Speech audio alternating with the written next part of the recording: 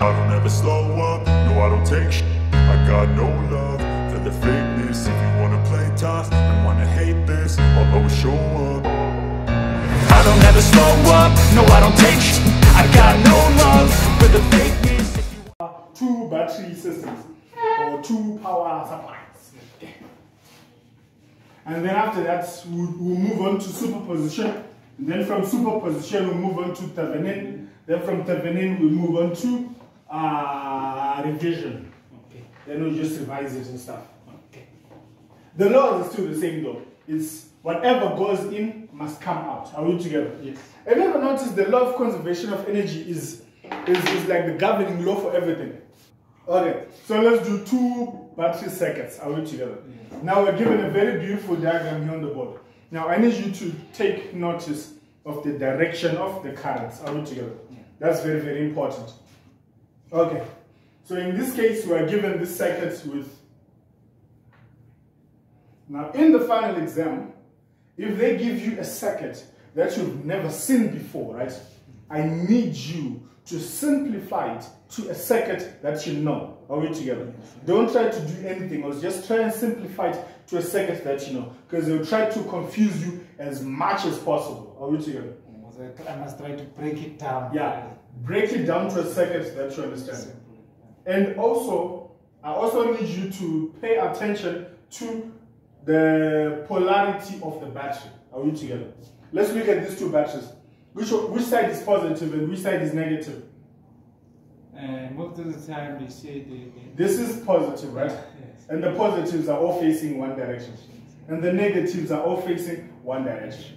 Now, this means that these two batteries are all supplying, right? Like if this battery is, is bringing 10 amps and this one is bringing 20 amps, right? You will have these two batteries all supplying here. Are we together? Switch. Okay, so here you've got 12 volts, which is V1, and then here you've got R1, which is 8, or it's still the same circuit. No, it's not, never mind. 8 ohms. And then here you've got R2 with 6 ohms. Then here you've got RL. Now, RL stands for R load. Are we together? Yes. Which is 12 ohms. And then this is V2, which is equals to 9 volts. And the current that is flowing here is I1. If they give you the currents, it's absolutely fine. If they don't give you the currents, it's also absolutely fine. Are we together? I don't want you to overstress it.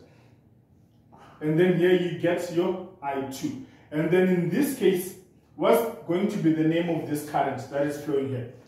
I can name it I3. I3. Yeah. That is correct. I- yeah, But remember, I1, I, I, I2, I1 minus I2. That's also perfect, right? That's correct. But we are not at that level yet. So in this, at this level, uh, we're going to do three unknowns in uh, electrotech, electrotechniques. But in this case, in industrial electronics, I need you to always have two unknowns, not more than two unknowns. That means I also need you to have only I1 and I2. Don't have I1, I2, I3, or don't have IT, I1 and I2, because those are three unknowns. Are we together? Yes, sir. So you've got I1 coming in and I2 coming in. So that means here you're going to have I1 plus I2 because all of them are feeding in one item. Are we together? Yes, sir. Switch. And then after this, we are going to make loops. Oh, it's still going to be the same thing. The loops are not finished. They are still there. So after this, we're going to make loops. Now, in this case, the question says calculate, hmm, calculate the voltage drop across the load resistor and the current flowing through the load resistor. We together? That means they want us to calculate The current. Yes. So they want us to calculate I1 plus I2, and they want us to also calculate VD at RL. Are we together? Yes. So let's start. huh? Yes. So let's call this one A, let's call this one B, let's call this one C, D, E, F. But in this case though, I don't want you to put too much emphasis on the loops. I want you to put emphasis on one point only, which is your RL. Are we together?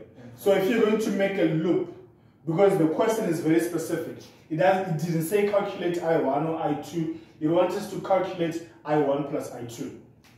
And your I1 plus I2 is here. Are we together? You might have another question. In, in this case, it might not be I1 plus I2. It might be I2. So that means I need you to forget everything else and then just concentrate on that point which they are asking you. Are we together? Sweet. So let's make our loop, which is going to be A, B, E, F, A. Are we together? So it starts from here, goes to here, here, here, then back up again. Are we together? So it's going to be Vt is equals to V1 plus VL. Let's call it VL, right? Because it's the voltage drop at the load. So it's going to be a uh, Vt is equals to V1 is equals to I1 multiplied by R1, right? Yes. Plus, and then here our current is I1 plus I2 multiplied by by R. RL, right? Yeah. Sweet. Now let's do the substitutions. So here is 12 volts is equals to I1 multiplied by 8. uh-huh, plus, and then should we, uh, let, ah, let's just substitute and then we'll, we'll itemize later on. And then RL is given as, 12. 12. yeah. yeah, oh, my handwriting. I've got a doctor's handwriting. okay. Still general. So let's let's move on, right? So it's going to be 12 is equals to 8 multiplied by I1, you get 8 I1, right? Yes. And then plus, let's open the brackets there. I1 multiplied by 12, you get 12 I1 12 I1. Plus And then this I2 plus 12 I2, thanks. 12 I2. And let's do some mathematics here. 12 is equals to all the I1s together and all the Oh, I2s the together. oranges first. Oh. Mm, oranges to oranges and apples to apples. That means 8 plus 12 is going to give you. Hey, using a calculator for that one winners. No, I'm still in all these things. 20 I1 plus 12 Oh, Check. I2. Right? Let's move over to the second circuit, right? Uh, So let's move over and let's start our circuit from here. Now here's the thing that I want you to take note of, right? Our current is going in this direction. yeah, that's Now, where the comes If from. you choose to make your loop start at B, C, D, E, B, make sure when your current is going in this way, but your loop is going in that way, you put a negative. Are we together? Yes. But in this case, why should we stress ourselves extra? Ne? Why should we stress? I'm stressed because it's using two batteries. Now, don't stress too much. Don't stress about that one. Okay. Let's think about the loops. Yeah, Why should we stress ourselves by making a loop that goes against the direction of the current? Let's just make a loop that goes together with the direction of the current, shall we? Yes, yes. Okay, so let's start from B, E, D, C, B. This one goes together with the direction of the current. Because this one starts from B, goes down to E, like this. That's the direction of the current, right?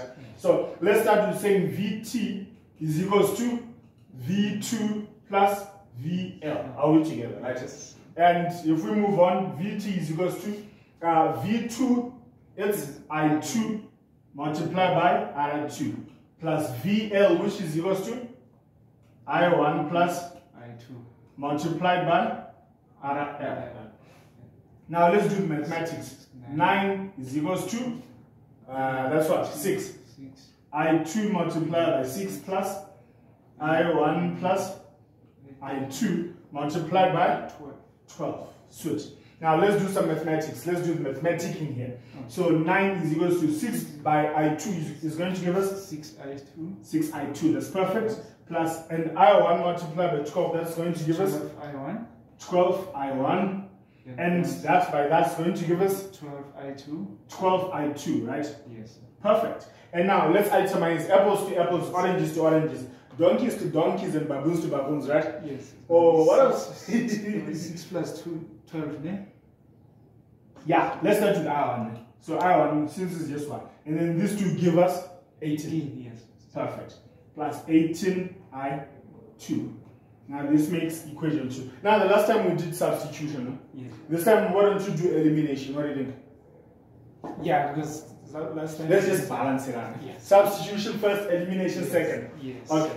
So when we're doing elimination, what we do is we're going to put these two equations and then we're going to stack them on top of each other.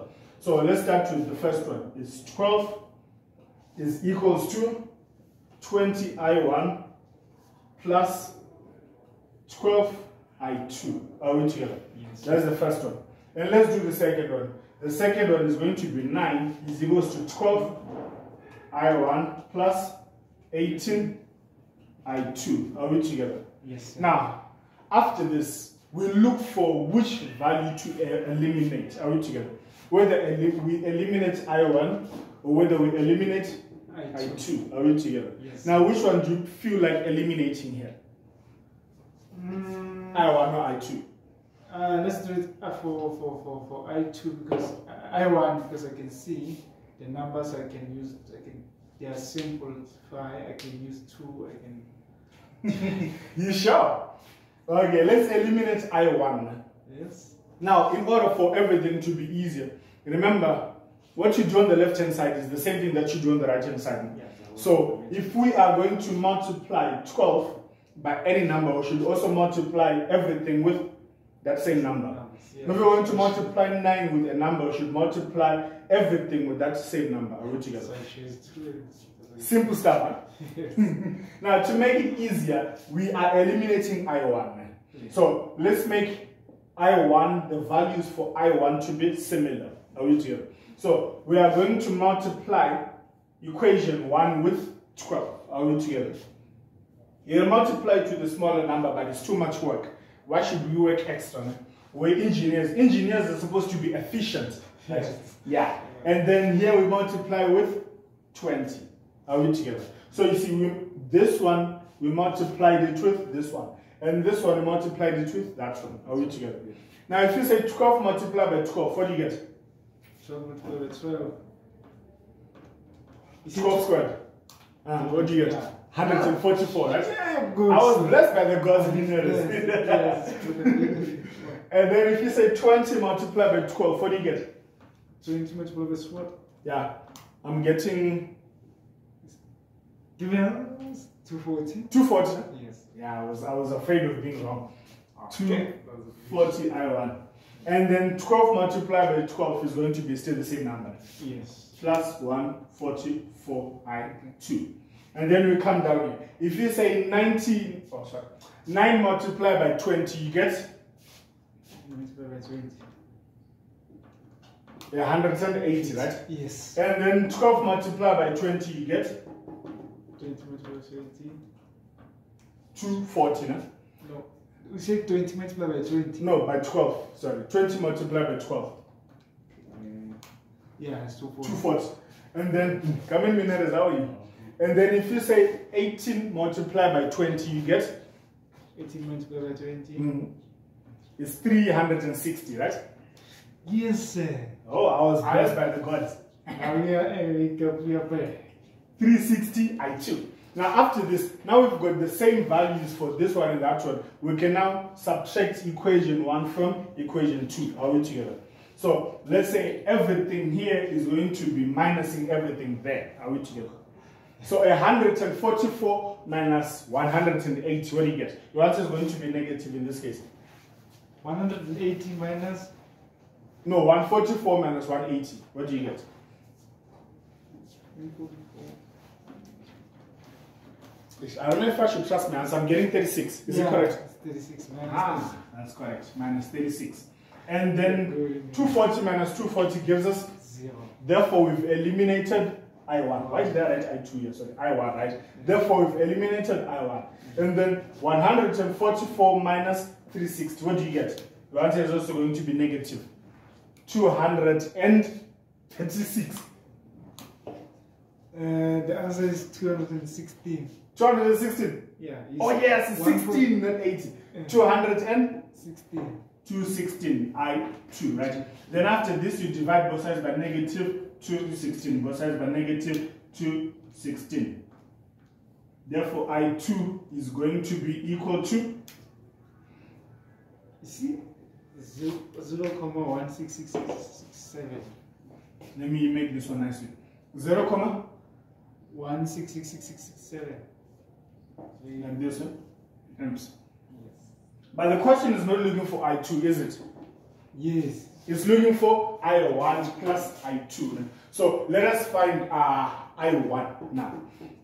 Now you can choose from equation 1 and equation 2. Which one would you want to pick? From equation 1 or equation 2? Which one do you want to use? Which one do you want to use? Equation I- I- 1 or equation 2? I In order for us to calculate the value for I1.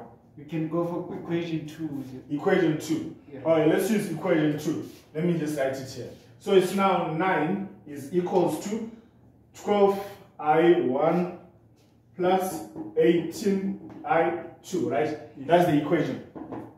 Now, let us make i1 subject to the formula, shall we? Yes, yes. sir. Okay, so it's going to be i1 is equals 2, right?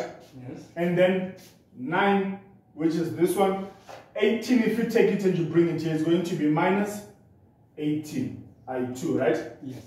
And then if you divide, if you remove, to remove this 12, we're going to divide everything by 12, right? Yes. Divided by 12. So I1 is equals to 9 over 12 minus 18 I2 over 12. Now let's substitute and let's put in the values. Sorry, it's supposed to be I1. Let's put in the values. 9 over 12 minus 18 multiplied by 0, 0.1667. All of it is divided by 12. What do you get your answer as? 0.25 or 1 quarter. So this one is pretty simple now. It's 3 over 4 minus 1 over 4. And you know your answer is going to be 2 over 4, which is equals to 0, 0.2 else. Oh, it's going still going there. Hmm. So in this case, everything is now simple. No? In this case, everything is now simple. Now we're looking for I1 plus I2, which means it's going to be 0, 0.2 plus 0, 0.1667. What do you get your answer as? I I should, I should, I should, I should uh, just put 337, that's correct. No? Let me check in the textbook if that's the correct answer. According to the textbook, we are wrong. So let me just try to see where we went wrong. We went wrong when we calculated our I1. No, never mind. It's me who's wrong, sorry. You, you guys didn't correct me. 2 over 4 is not 0, 0.2. Uh, it says 0.25, ne? Yeah, this is equals to 0, 0.5. Sorry. This is equals to 0, 0.5. And then this is going to be 0, comma 5 plus this. What do you get?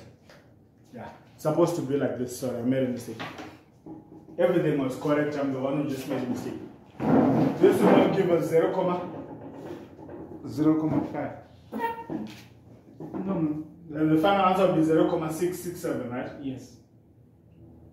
And that's the final answer. That's correct. Okay, switch. So this is how you calculate your Kirchhoff's laws. man. And remember, if your circuit comes upside down here, right? Note the direction of the current so that when you're doing your loops, right? Yeah. Make sure that your loops will go in the exact direction that they are supposed to go. Are we together? Yes. Don't make your loops go upside down, inside out, and your currents go upside down, inside out. Make sure that everything is where it's supposed to be. If this, if the positive is down and the negative is up, right? That means this current here is going in that direction. Are we together? Yes. right? And if this plus, sorry, and if this plus is down here and this minus is up here, that means instead of this one to go this direction, it means now it's going that direction. And what does it mean if you get a negative answer here? Mm, which means the, the, the, the direction. Direction of the current was wrong. Are we together? So don't stress too much and revise. Are we together? Yes. So now there's going to be questions after this. Mm. Yeah. My, my question is uh, is any other way they make it vice versa, the other side to be positive? The other Yeah. side Yeah, they will. They will. They will. They will make the other side positive and the other side negative. Trust me on that. Believe that. Okay. yeah, thank you. I think for our benefit of our listeners, we'll do it some other time. Sweet.